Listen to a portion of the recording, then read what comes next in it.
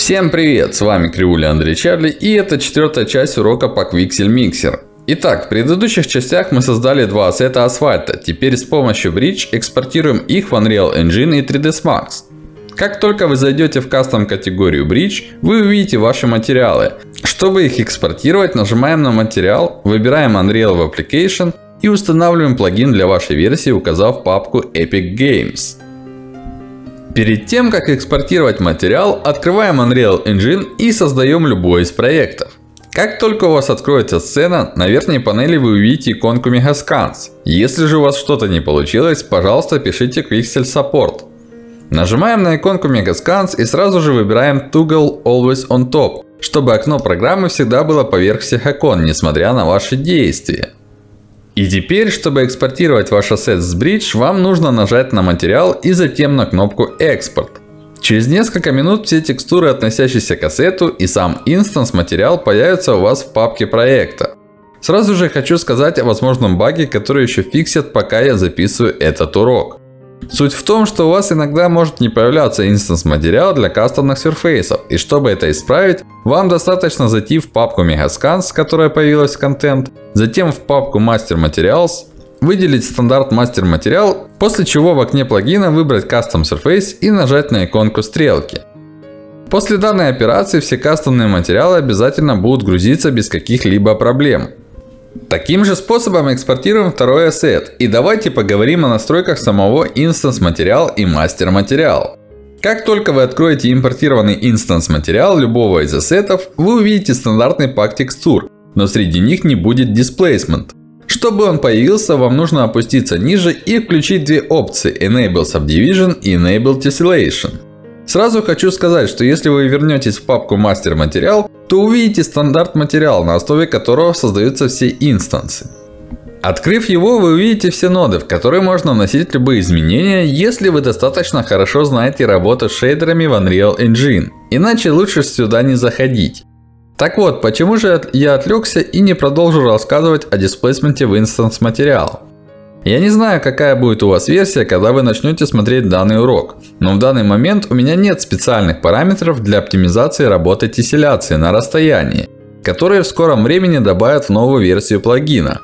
Если у вас также здесь будет просто displacement, то вам придется добавить несколько параметров для лучшей производительности и настроить затухание тесселяции на отдалении.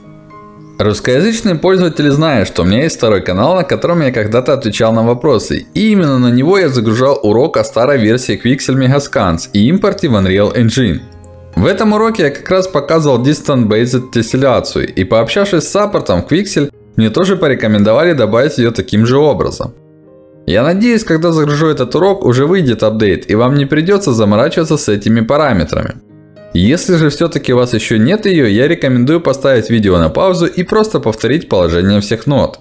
Я не буду рассказывать о каждой ноде, так как это займет кучу времени. Функция оптимизации состоит из нескольких нод, которые вы видите на экране. И вам нужно будет ее поместить в true ноды Enable Subdivision. Также хотел сказать, что если у вас будут какие-либо вопросы по мастер-материалу, добавлению этой функции и так далее, то вы можете написать Quixel Support и вам помогут со всем разобраться. Например, именно Ednan, который работает над плагином под Unreal Engine, подсказал мне все эти настройки и отвечал на любые вопросы, в которых у меня не получилось разобраться самостоятельно. За что ему огромное спасибо.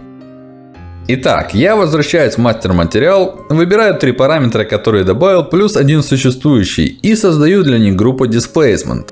Компилируем настройки шейдера нажатием на иконку Apply, открываем инстанс материал и если включить опцию Enable Subdivision и Enable Tessellation, то вверху у вас появится категория Displacement, которую мы создали и там будут 4 добавленные настройки. Также при желании вы можете поменять яркость альбедо с помощью Color Intensity ее оттенок, вариацию цвета, интенсивность карты нормалей, интенсивность roughness эффекта и конечно же тайлинг. Итак, давайте же начнем создание ассета дороги. По рекомендации Ednon, для более-менее хорошего результата, похожего на то, что мы создали в миксер, нам нужен плейн, разбитый на 4 сабдива по вертикали и горизонтали. Для того, чтобы создать такой плейн, вы можете использовать Maya или 3ds Max. Maya нажимаем пробел, выбираем Create, затем полигон Primitives и напротив Plane нажимаем на квадрат. В появившемся окне делаем размер 200 на 200 и разбиение на 4 сабдива. Его уже экспортируем в FBX с триангуляцией и загружаем в Unreal Engine. 3ds Max то же самое, тот же плейн с разбиением 4 на 4 и 2 метра на 2 метра. Я думаю, на этом этапе у вас не должно возникнуть проблем. Единственный момент, который я тоже делаю, это немного приподнимаю плейн в фронт виде, чтобы в Unreal Engine он не пересекался с ландшафтом. И затем делаю специальные бордюрки, но о них мы не будем говорить в этом уроке. Экспорт делаем в контент, находящийся в папке проекта. Как в Maya, так и в 3ds Max настройки экспорта в FBX одинаковые и выглядят таким образом. Для Unreal желательно делать одну Smoothing Group и конвертировать в Editable Mesh. Как только вы экспортируете объект в Unreal Engine, у вас появится уведомление о его импорте. Нажимаем импорт и оставив все настройки по умолчанию, кликаем на Import All. В результате в той папке, в которой вы экспортировали объект Plane, он появится с одноименным названием. Если вы его откроете, то увидите уже триангулированный меш. Как раз то, что нам необходимо. Меш готов, приступаем к созданию дороги. Итак, я удалил все ненужное в проекте, оставив лишь объект стандартной платформы, чтобы не потеряться в сцене. Теперь выбираем создание ландскейпа, нажав на иконку гор и кликаем на Create. Затем выбираем Manage и инструмент Edit Splines. Если вы будете кликать, удерживая Ctrl по поверхности с чекером, у вас будут создаваться сегменты дороги. Давайте создадим несколько. Теперь вместо стандартных сегментов вам нужно подгрузить ваш ассет с дорогой. Для этого выбираем одну из иконок горы над дорогой, переходим в сегмент, кликаем на плюс возле Spline Meshes и перетягиваем наш ассет с дорогой на пустой синий квадрат. После чего отключаем Scale to Width, чтобы дорога была именно того размера, который мы задавали плейну. Теперь, если перейти в Place и назначить материал дороги, вы увидите, что ее текстура имеет неправильное положение и на ней какие-то странные черные полосы. Для того, чтобы повернуть текстуру, снова возвращаемся в редактор дороги и Forward Axis меняем на Y. Затем перетягиваем материал и запекаем свет простым нажатием на Build, чтобы убрать непонятные теневые полосы. Итак, непонятные теневые полосы исчезли, но как вы можете заметить, наша дорога без displacement. Давайте его настроим. Если включить wireframe и отдалить камеру, то на дальней части дороги вы заметите, как уменьшается разрешение тесселяции. При желании вы можете поменять расстояние в настройках материала. Достаточно уменьшить Fade Distance. Я обычно ставлю этот параметр равным 1500, и этого мне достаточно. Теперь давайте настроим Displacement Offset. И как вы можете заметить, для качественного дисплейсмента, который мы видели в Pixel Mixer, такого разбиения на треугольнике недостаточно. Нам нужно увеличить плотность сетки в области бордюра. Возвращаемся в 3ds Max, включаем текстуру и добавляем ребра в его область с помощью Graphite Modeling Tools. Таким образом, получаем такой ассет, который конвертируем в Editable Mesh, назначаем одну Smoothing группу и экспортируем. В итоге displacement в области бордюры стал намного лучше.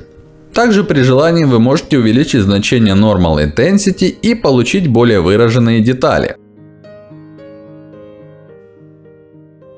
Теперь, если вы захотите смешать данный материал с другими, вам для этой задачи потребуется Blend материал, который создается очень просто с помощью того же плагина от Quixel. А его созданием и настройкой займемся в следующей части.